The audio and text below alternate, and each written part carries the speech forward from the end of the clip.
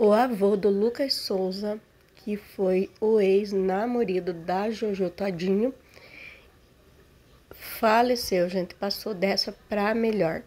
E o Lucas tá ali chorando. Mas o incrível, gente, é vocês verem aí ele se posicionando na frente da câmera pra chorar. Até pra isso, gente. Agora tem que liga a câmera, fica em frente e começa a chorar, né? Pra fazer drama ali, tudo por like, né? Onde que já se viu? Não dá, vai chorar a morte de um ente querido? Não precisa ficar chorando na frente das câmeras, né? É, pode até contar o que aconteceu, mas não precisa ficar se posicionando ali para chorar, né? Na frente das câmeras para ganhar ibope, ganhar curtida. Vamos acompanhar aí o Lucas Souza. Ele esteve também no, na Fazenda e também deu maior rolo com ele lá.